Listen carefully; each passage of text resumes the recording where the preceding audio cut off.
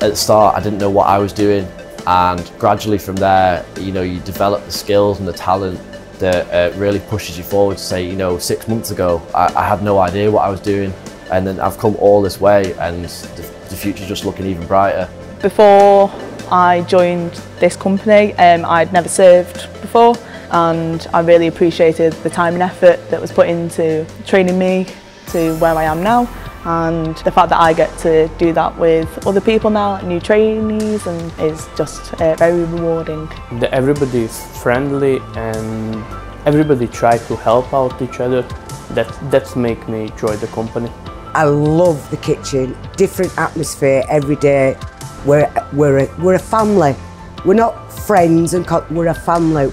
We solve the problems all together as a team. If you're the type of person that likes to work hard, doesn't take themselves too seriously, enjoys having fun at work um, and you know, likes to have a, a, meaningful job, then I think this is the company for you. I love being um, in a support role for my team. I love having a team behind me uh, and just working as a big unit and it just does feel like a massive family. So Everyone is like really invested in you it feels like everyone is like everyone you interact with from like your own management team or from head office is like invested in you doing well and like excited about your future with the company. I think it just feels really great.